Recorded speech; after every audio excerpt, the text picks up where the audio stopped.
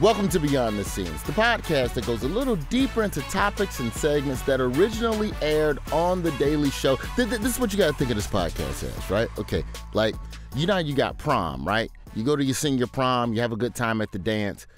This podcast is everything that happens after the prom. We're the party bus. We're the tickets to the club. We're the fight at Waffle House. Don't worry, we still gonna get you home by midnight, and your daddy ain't gonna know that you tore up the tuxedo and you ruined his deposit. This week, we're delving a little deeper into a topic that we just recently dis- uh, discussed on the show. I went down to Atlanta to learn about a place called Cop City. Cop City is a training facility that's being presented as the new way to train Atlanta's police and fire departments. But Cop City's brought a lot of controversy.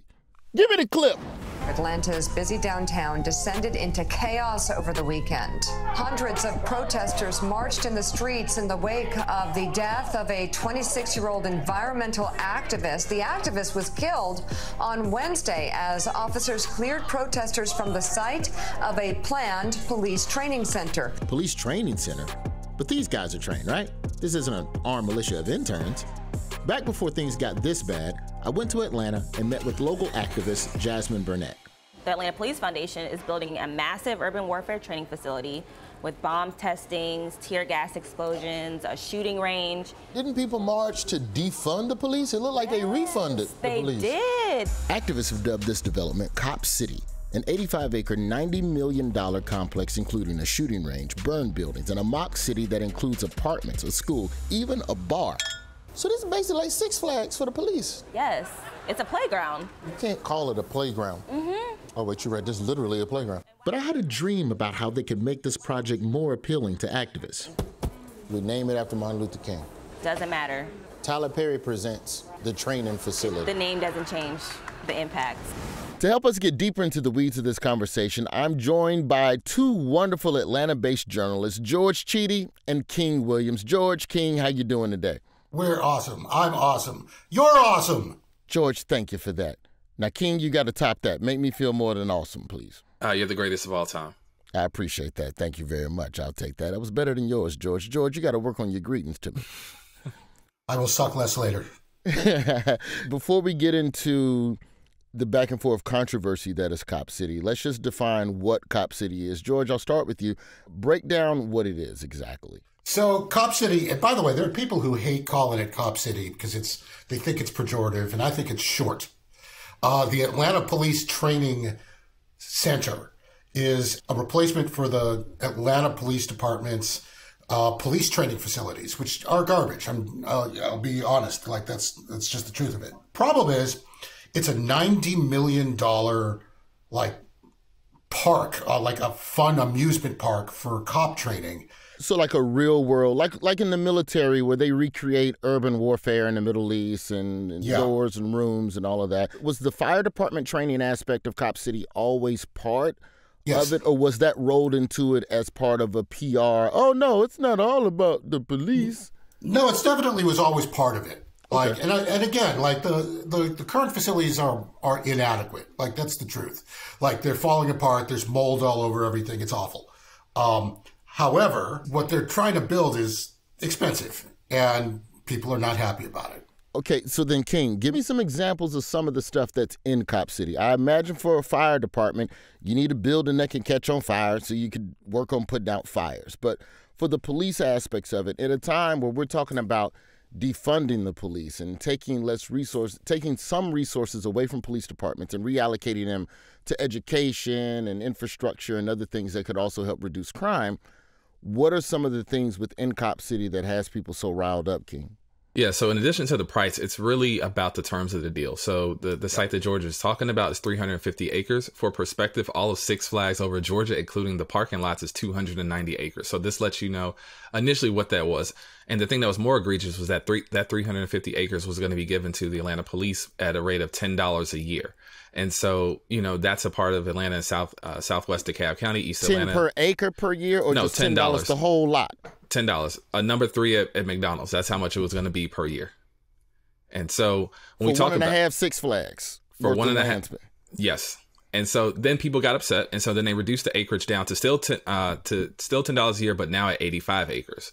And so 85 acres is still a pretty large amount of space for this particular facility. shopping mall.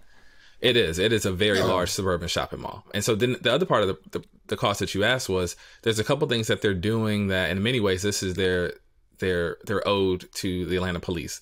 And so you have everything from a horse training facility, which they're already currently trained nearby at Grant Park, which costs them effectively nothing because they're given a, lease through the zoo to also have their training facility for their horses there.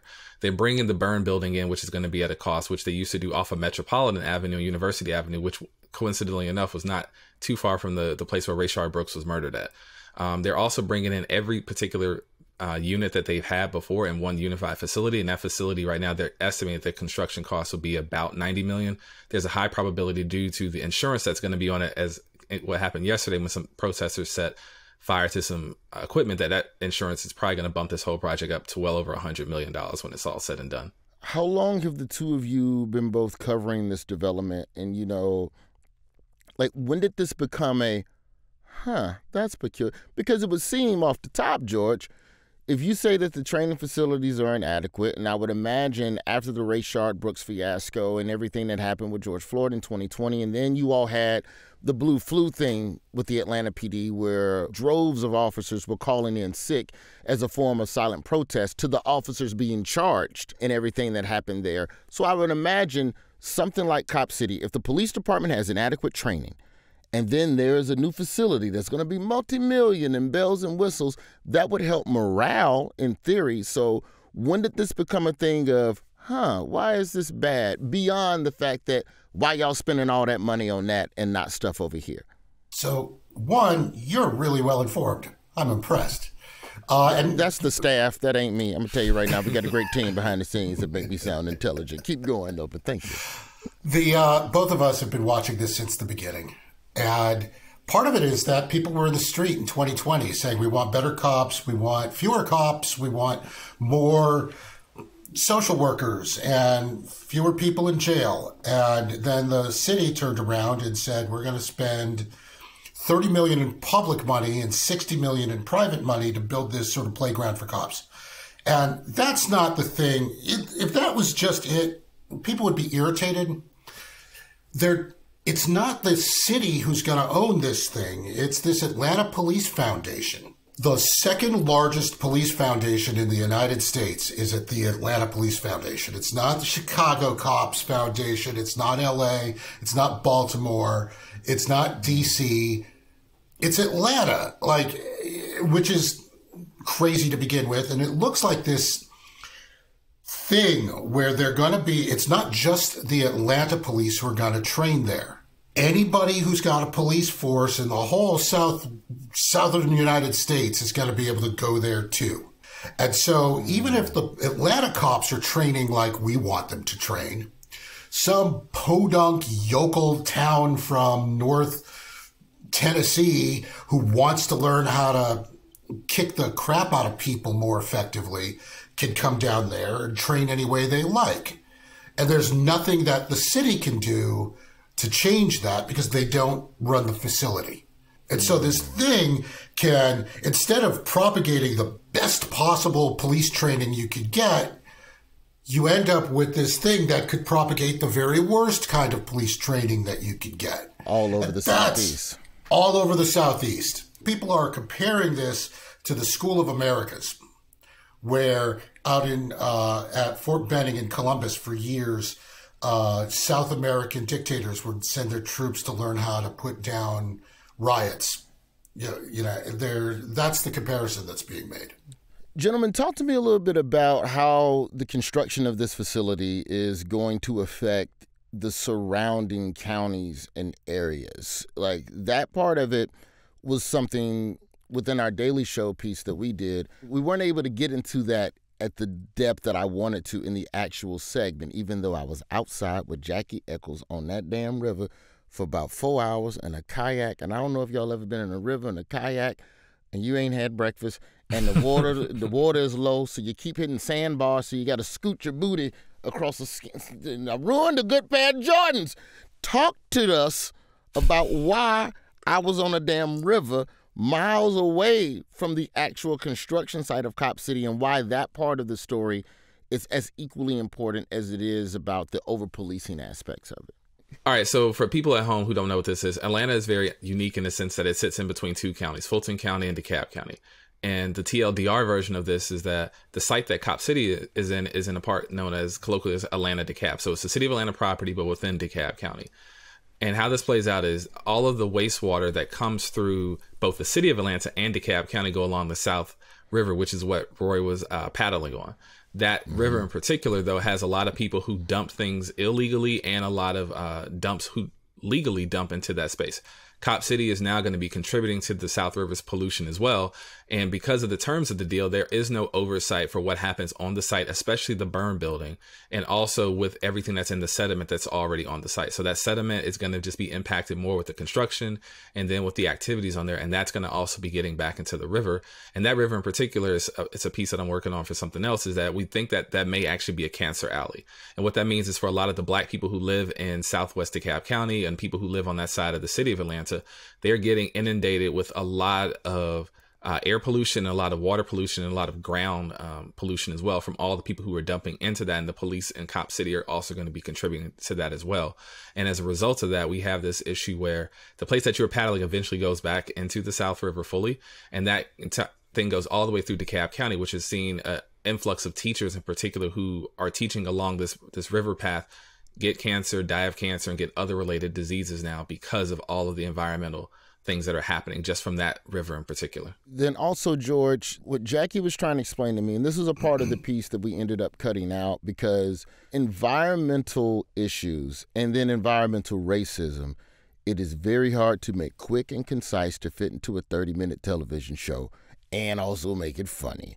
Yeah. But she was trying to explain to me basically the build site for Cop City is a lot of dirt. Dirt absorbs water. You put concrete over dirt, the water got to go somewhere when it rained. The water would now go downstream and tear up more shit. Explain to me. She didn't yeah. say it like that. Jackie Echols is a no. She's a she is filled with unimpeachable truth. Like.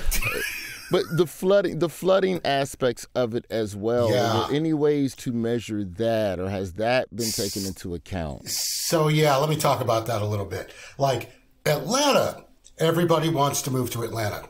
Everybody wants to move to Atlanta.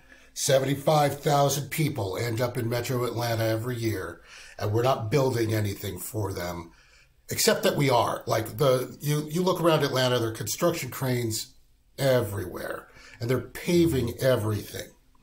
And whenever you pave enough stuff, the water that would normally go one way goes another.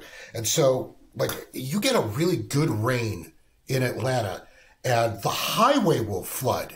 Like that's how bad it is. Like mm. a hmm. really solid couple of days of rain and you can't drive on I-285 without going through 10 inches of water. The worst flooding is happening in DeKalb because we're our sewer systems are garbage because we didn't overbuild for all the people that have been coming here and all this runoff is being created and it's going into black neighborhoods. It's going to neighborhoods like mine. I live on a, a creek, and we had to do a million dollars worth of remediation on that creek because you know when we had a good a good rain, it would flood houses. So let's drop a mall in the middle of this mm. river, essentially, and see how many houses of black people we're going to flood downstream. And the worst part of this is that area is gentrifying, but it's also filled with black homeowners. Black homeowners are rare. Like, we don't have enough black homeowners. and so you're going to tell me that people who are actually starting to get equity in their houses are those are the folks you're going to flood out by building this? Yeah, people are kind of pissed off about that, but they're only kind of pissed off. They're not super pissed off because it hasn't happened yet. Okay, so we've covered what Cop City is. We've covered all of the different ways that it could be bad for the community, be it fiscally, be it environmentally. Now we need to talk about the people and what they're doing to try and stop it. After the break, I want to talk about this group of people I met called the Forest Defenders who are actually living on the Cop City construction site. And who the hell is for Cop City? If everything that y'all just laid out is talking about it's bad for this, it's bad for that, it's bad for that, who was the person that wrote a check and was like, here's 40 million, good luck and go build it? It's Beyond the Scenes. We'll be right back. Beyond the Scenes, we are back. We are discussing Cop City, oh, oh excuse me, George, the Atlanta City Police Training and Fire Medical Facility Readiness Activity Zone. That's the nah, call it Cop City. Call it Cop City. Like, don't ever make me put that in a headline. Nobody will read the story. we, we've covered so far the, the cons of Cop City and the fact that it could become a place to mistrain a lot of officers in a lot of different places. There are environmental um, issues that'll come from Cop City. It is a fiscal boondoggle as well. Part of the reason Cop City is starting to cost a lot of money is because there are a group of people that have encamped themselves in the in the construction area, like literally living in this area. They call themselves the forest defenders, and I was able to meet some of these people for my story, and they were extremely secretive because you know it's we're, getting into like real secret enemy of the state type stuff where they they believe their cell phones are being tapped they're being monitored by drones they believe the police are trying to come in undercover and embed themselves with them. Like it is a lot of different things that are being accused from the forest defenders towards the city of Atlanta. In you all's coverage of this from the inception of Cop City, when did you start seeing the forest defenders start to become a thing and how did that whole movement emerge? And when did it start becoming deadly? So to that point, um, Atlanta's like overall activist ecosystem for the last couple of years have been relatively decimated, and so the few activists who really knew about it almost from the beginning had already started staging protests, either just online or uh, throughout the city and especially around that place. So people were already there almost from day one about the site. Um, Decimated um, in what sense? Like arrest and just kind of torn apart during George Floyd movement or? Well, even before George Floyd. So that's a good point. So a lot of our activists, there's no infrastructure. So activists can't necessarily go into a heritage foundation. They don't get into law. They don't get into the universities even. So after a series of uh, crackdowns on various protests, with the last being this thing called Tent City over at the old Turner Field, which is now Georgia State Stadium. A lot of them, after getting arrested, a lot of them, after being you know fired from their jobs, they just left. They either left the city or they left the, the movements altogether, and then there was no other people to kind of come in and and take over like that next wave of, of leadership, which is something you see in most political movements. And so the people who started coming around and started encamping themselves, a lot of them weren't necessarily from Atlanta, but a lot of them were getting news about Atlanta from people on the ground or former activists of people sharing things in their social feeds. So they felt emboldened to come here because there was nobody to literally defend the forest that was there because the activists who normally would have been here in most cities just aren't here anymore. We just don't have that ecosystem, not because they are, are weak or anything like that, just because there's nothing to support them. There was no way to level up. So that's kind of how we get to that point of the forest defenders and also, the forest defenders I, I want to add into that is that a lot of them also interact with other groups like general historic preservationists, arborists, um, local DeKalb residents who didn't like the project. So it was a lot easier for them to start getting familiar with the city, get familiar with the players really fast because there was a lot of people who just didn't like this project for various reasons. What was interesting when I was out there uh, King was that locals were like bringing them food and little Debbie's, like legit care packages. You know, George, if we want to get into the military, you know, they was dropping off the MRE kits. Hoorah! They was dropping off the supply. But like they were like straight up supply drops, like from just strangers being sent money a number of different ways. I won't say how, but they had infrastructure set up where they could get that level of support from outsiders. So they get in, they start encamping, and they start doing things to kind of be you know, a pain to the construction companies. You know, like they may tear up some of the equipment or they'll set up a blockade so you can't get that particular tree cutting saw down this path or whatever. And the police always come in and try to tear down their barricades, and people have started butting heads more and more. As the price of this project increases, George, it seems yeah. that tension has also seemed to increase because there's a level of urgency to just get it done that starts coming from people. When do you think that tensions start? When did when did things start to turn for the worse with this? Oh, I want to say maybe uh, fall of last year. Um, you started to see like a truck get overturned here or there. Um, you had a, a, a, few arrests, and the cops have made a big deal about the fact that the folks who are getting arrested are generally from out of town, that they're white people with money from places like Kennebunkport, Maine. And that's important, I think, because uh, it shows that there's a national interest in what's going on here. Um, things really like the, but when Tortuguita, he's uh, an activist who was uh, killed by the by the police, um, and there's still some controversy over the circumstances of that. They found a gun. The gun was registered to him, uh, but there's a question about how the shooting actually started. Yeah, who uh, shot first? Who shot first? There is some non-zero chance you met this guy. Well, I met 20 to 30 they wouldn't all agree to be on camera the ones that you, that you saw on camera for our piece that was a small fraction of yeah. the forest defenders i met that day yeah so that's sort of that energized things um, the, there were vigils in 50 other cities around the country uh, in the days that followed uh, Tortuguita's death. Um, and I think that's what led to what happened last night, where um, they've started a week of protest. You know, they had a concert out in the forest, uh, like sort of a festival, and then a bunch of guys dressed up in black and set construction equipment on fire.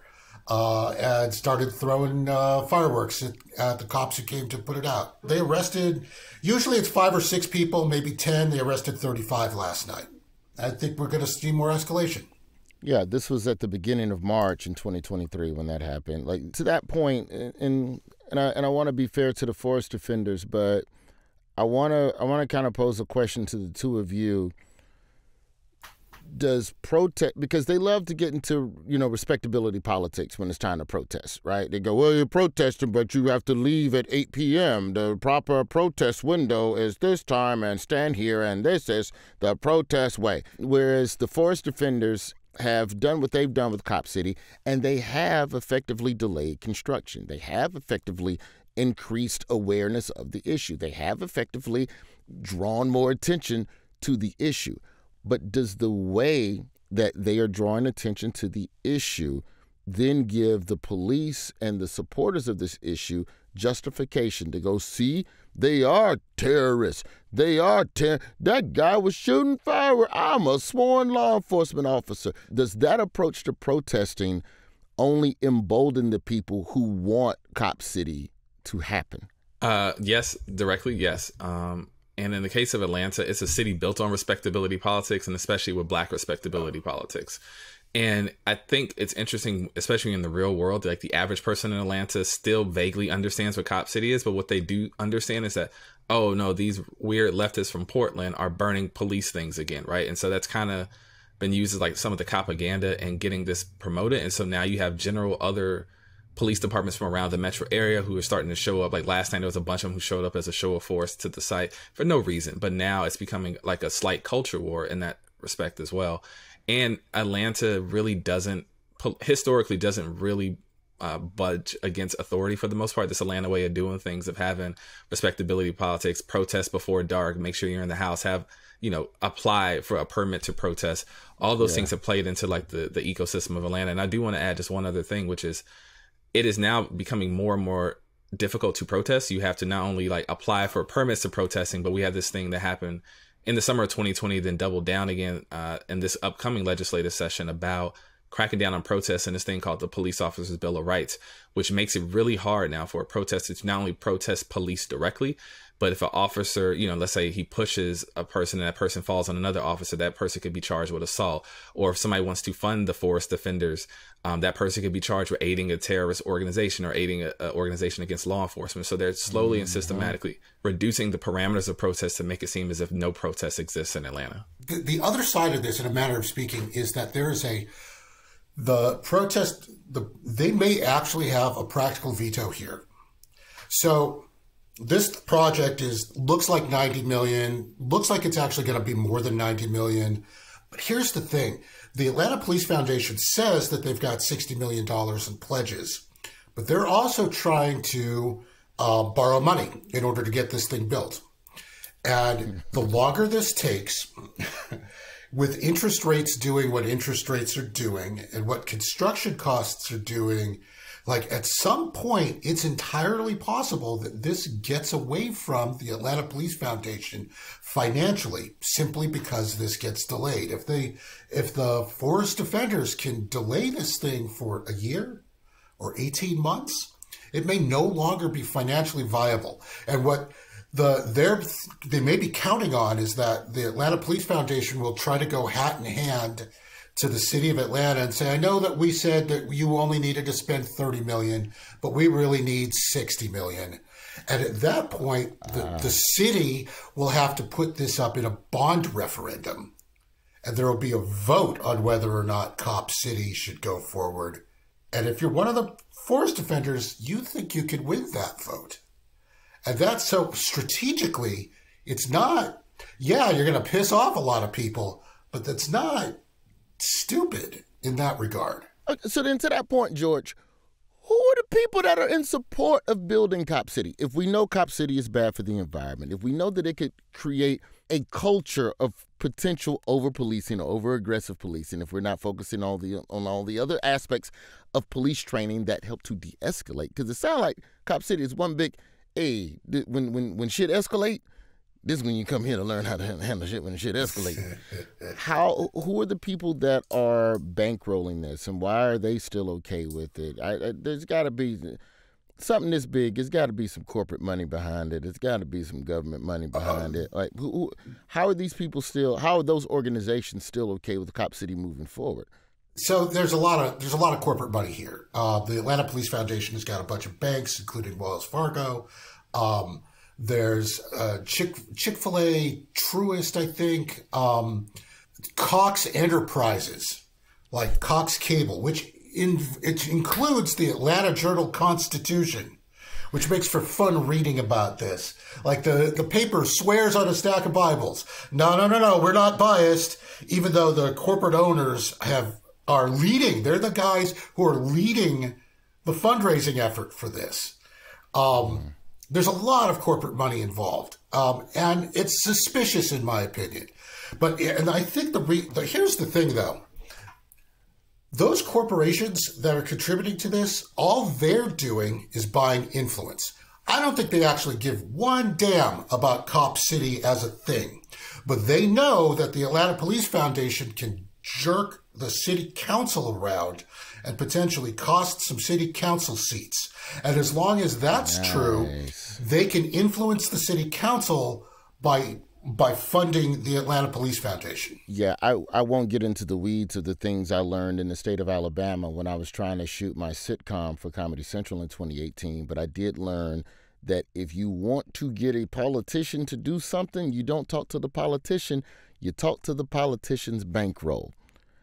And so if the Atlanta police are the people that have the leverage over the politicians and you do something in their favor, then they are more likely to. So yeah, I could I could I could see that. So it's less of a yay police versus sooner or later we need you to pass a law that's going to help our company. We Chick Fil A, we need the chicken to be cheaper. So if I give you a little money for Cop City, make sure the chicken is cheap so I can make a little extra profit. Bingo. Does increasing the cost of Cop City is that the only like effective way to get corporations to go, wait a minute, we got to pull out of this. Because it sounds like it sounds like money is the only thing that's really getting anything done so far or affecting the cost of it. It doesn't seem like morals have entered the conversation at all. Yeah, at this point right now it's definitely money. Um, and you said something earlier I do want to add into that, which is that the average person in Atlanta, again, still really doesn't know what Cop City is. Like they get their news from either social feeds or the five o'clock news for the most part. And when they hear about this and they're kind of ambivalent. The difference is once you start getting into a lot of like the, the details of the deal, it goes from like ambivalent to, hey, we should really reconsider a lot of parameters on this really fast. And the reason why I think there's a lot of money trying to push this ahead of time is because once the average person in Atlanta starts to learn a little bit more about it, and especially now with the, the communities in South DeKalb who are also now becoming included in this conversation about the environmental racism, there's a lot more people now who are really starting to question the nature of this project. Yeah, they may not necessarily like the out of towners pushing over cars and, and you know throwing firecrackers, but they do want to know there's some other things Cop City is representing that they're either not getting directly in direct aid or that's going to affect them really fast. So it's kind of become a, a issue of time and money is like proceeding faster than the time is allowed for people to really think about it. Would it have mattered if the if the protester was from Decatur, or whether or not they from Maine? If they're there to fight against something, why is that even a talking point to try and get people to disregard what these people are willing to die for? It's an old nativist strategy, but I promise you, I'm from Decatur. If that person would have been from Decatur, there wouldn't have been no cops. There wouldn't have been no forest. Like people in Decatur, just they operate very differently, and so I do think that people when they bring up this out of town thing, it makes the narrative that you know what people in Atlanta support this. These are people. It's like the good old boy system of like, oh, these outside agitators coming in and really like stirring up this the pot. But if it was again somebody from Decatur, if it was a 19 year old from Decatur, I guarantee you, not only would Cop City not be there, Andre Dickens is probably not the mayor at this point, right? Like people in Atlanta move mm. very differently if they feel like one of their own have been disrespected, and I think that's something that they've been leaning on with with regards to Cop City. Is like, hey, one of us didn't do this. This was one of them from outside of our state and that's kind of what we're seeing play out right now. Does the environmental racism part of this, when we talk about, you know, creating cancer alleys from a lot of the burn off, you know, you got a burn building, that means you got smoke. That means you got chemicals going in the water because it takes chemicals to make fake fire, you know, to make control fires. So, what about the surrounding cities? Because the river don't stop in the Atlanta metro; it keep running on down the state have any of the other states even came in and just has Lawrenceville checked in? Has Macon, Georgia checked in? hey, could y'all not send the cancer downstream, please? We would appreciate like how much is the rest where does the rest of surrounding Georgia you know, I can't God, I can't remember I, the comedian that made the joke. Atlanta is Atlanta, but it's surrounded by Georgia. Has Georgia checked in on what Atlanta is doing? So for the most part, I don't think Georgia cares. I think part of it is because like the rest of the Georgia hates Atlanta. Like, and if, like once you get out of Metro Atlanta, like they if they could shoot Atlanta, they would. Like there's literally they like they were ready to blow up Atlanta and split off Buckhead from the rest of the city. Oh, they trying Not to because, do that now. We don't even have the yeah. time to talk about that. They're no, trying to like, they're trying to secede from the city. Everybody else, every like if you're a politician from the rest of the state, like you run against those horrible liberals in Atlanta and they can do nothing right and to heck with them. Like that's that is the attitude outside of Metro Atlanta. But how's it going to affect them? Don't they know that? First off, lay out some of the ways this could affect those surrounding areas, and are they going to just, you know, just not going to say nothing? So it depends on exactly who you're talking to. Like, because if you are in suburban Columbus, you know, and it's a like red state Georgia. Mm-hmm. Uh, like you're like, yeah, maybe there's runoff, but we don't care because it's not going to hurt us. Like that would be the attitude. But hey, maybe we can drive our police department up there and go do some fancy training for a lot cheaper than we could do it before, and it'll yeah. be better. I, for the most part, I think the rest of the state, maybe even surrounding states, like this, the police narrative controls how they're going to view this. If they're pro cop, they're pro cop city. If they want police accountability, then they've heard about why Cop City is wrong. But I don't think that they're going to have as much. Like, here's the thing Atlanta does not want, like, the city of Atlanta and DeKalb County really don't want the rest of the country and the rest of the state weighing in on this. They want to be in control of what's happening in their own backyard. Because generally speaking, when other people come in, like that's that's when you get like our red state Republican governor like taking a dump on the city. And and they're afraid of that. And I and, and I understand that. Like that's why they're pushing this outside agitators thing, even though it is this horribly racist callback. I got to tell you, to like 1960s those northern agitators are coming in here to like it, that's what it sounds sounds like to me because I know these things, but but they think that it'll buy them some space. Well, after the break, we're going to bring it home and talk about some of the other initiatives that have been going on in and around the city of Atlanta to help rectify a lot of issues that have been happening in Atlanta.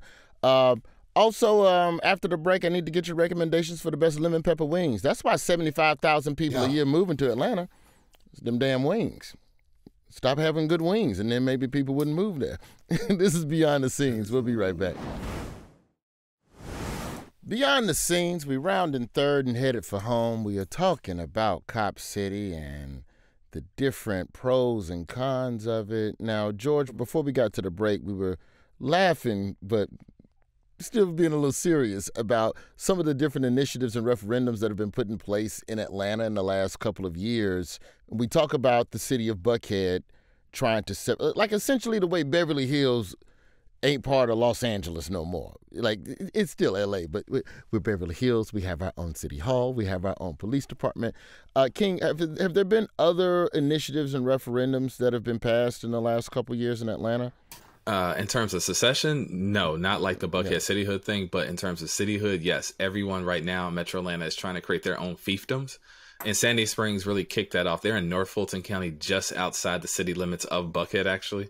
And in 2005, they became the first to really kick off this modern cityhood movement. And since then, every uh, municipality has tried to do their own version of, hey, we're not going to allocate our tax dollars to help those people. You can infer what that means when every time that comes up. Um, the thing that makes it different now is that we've had since 2005, we've only had two black ones. One is the city of Stonecrest, um, and then we also have South Fulton. And so those are two majority black cityhood efforts, and they have had a varying degree of success compared to the white ones. Uh, but everyone right now is trying to be their own version of a city, and Buckhead being its own version of a city led by people outside of the state, I mean, outside of the metro Atlanta area, is the latest in the a long chapter in that. But if these predominantly white areas, which I would assume are probably red, red parts of town, little okay, wealthy, but not necessarily red, purplish, if you mm-hmm. will. okay, a little bit. George is like, eh, kind of, sort of. Why leave Atlanta? Like, is it decisions like the Cop City thing? Is it decisions like you know the way that the Rayshard Brooks trial of those officers was handled? What are the pros and cons of leaving the city. Why can't Atlanta just say, get the hell on in? We don't need your little funky little tax dollars. I'm good. I got Chick fil A in my back pocket. I'm going to go off for a second because the whole Buckhead thing was uh, a lot. How much profanity can I use in oh, this, lay it. this? Come on, baby. Lay it. Lay it. Do what you want. So the whole, it's just bullshit that was created by one guy who was a fundraiser for Trump like in this one racist felt straw piece of shit, like decides I can like there's this untapped group of rich white uh, conservative Tucker Carlson watching people who've got more money than sense who the Republican Party has never figured out how to fundraise off of effectively. And so in comes this guy from New York who moves into Buckhead and says, we should split Buckhead off because Atlanta sucks. And he's just, it's just an excuse to send out newsletters raising money. It was never going to pass. It was never, ever, ever going so it was pass. a rouse to fundraise, and then when you lose, you go, see, they don't want us to be great. Join me in the fight with a five dollar donation. Yes. Uh, more like a five thousand dollar donation. Oh shit! Like, hang on now. Hey, man, it's Buckhead. I mean, you got to know. Like that's it. That's all that was. And a lot of this other stuff is like in the same vein. It's this idea that black communities can't figure out how to govern themselves. At least that's the that's the lie. And so like if you don't like if you don't like the idea of having a black mayor as a white person, here's a way for you to get up and around that. Even to that point though, like what you said about the, the Buckhead cityhood thing was interesting because for a host of reasons it was never going to work which is why brian kemp had to come in and kind of put the foot down on that one. But the other issue is cop city was brought to the buckhead business leaders as a way to keep away secession from atlanta. It was like hey you know you want police in, uh, around the Ray Brooks uh, around june of 2020 i mean we have even by august of 2020 they're already in cahoots with a couple they i'm not going to say um, certain city council members are already talking to buckhead leaders about what can they do to support the police and by december of 2020 we already have like the plan that would eventually become cop city so it was always always going to be a part of it and buckhead was always going to be leading that effort to have cop city so the fact that this person in particular wanted to lead a fundraising effort to secede from Atlanta based on the notion of police was just one of the best scams in Atlanta history. I mean, it's maybe a top five moment. How much do the police respect the data of how crime is lowered versus simply passing things that will get them the support of their community? Like if we're talking local politician and you know XYZ reading initiative will help. We know that the connection between literacy and crime rates. The more area can read, the lower the crime rate is in that area. We also know that you could take some of the money for the police tank and create a, a non weaponized response like they have in Portland. Portland has a, an, a, a division that is just responding to mental health and and minor domestic stuff that the cops normally would be the ones going to, which is less work on your police, which is less stress on your police, which equals a higher morale and a better work better work environment. Those things could all contribute to lowering crime. So why be so dedicatedly invested into the one thing that makes it seem like the only way to be tough on crime is in a punitive way? Because let's be real, there's three Southerners on this on this podcast right now. We all came up in the ass whooping phase of the South, so tough, heavy hand, Billy Club. Do cops and politicians do they really believe that all this and all these other initiatives will really help to lower crime? So Atlanta. I got a lot to say about this. Because if that's like, what you're selling to DeKalb and Sandy Springs and fucking Villa Rica, like if that's what you're trying to get them to be a part of, aren't you still lying? Like, is it, the shooter's gonna shoot? Drama still gonna be drama. So it's funny, like the city's got like a Portland style thing. They started it a few years ago. I was actually on the design team for the pre-arrest diversion initiative in Atlanta. Okay. Um, and thing is, it it gets like three or four million dollars a year. It's got like a dozen, maybe two dozen people who are working on it, and it's hamstrung by all of the other things that are broken. The jail is broken. The courts are broken. The cops are kind of broken. Um, the district attorney's office doesn't have enough staff to really do all the things they need to do. There aren't enough public defenders to go around. Like it's like there's this gigantic mess in the system Meanwhile, like they're going to spend thirty million dollars on Cop City, and their uh, their idea here is okay. So we're spent. They're in their head. They're going, well, we're already spending all this money on all of these other things like bail reform and all the rest. So we should probably spend more money on the cops too.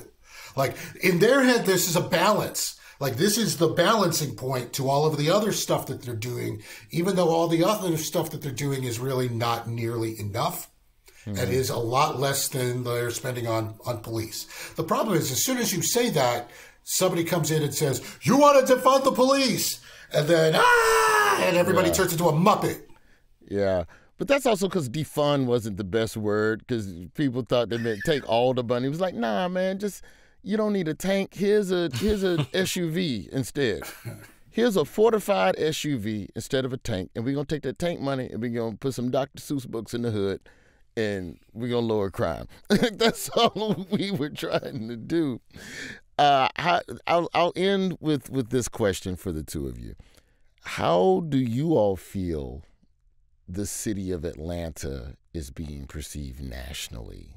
How, how the perception of the city of Atlanta has it evolved or devolved over the last few years with Cop City being a big part of this, and you know Governor Kemp threatening to send in the National Guard. You know, the National Guard gonna come in there and let's just say the, the National Guard. If there's anybody need to go to Cop City for some training, it's probably the National Guard because they ain't training as often as the cops about how to do cop stuff.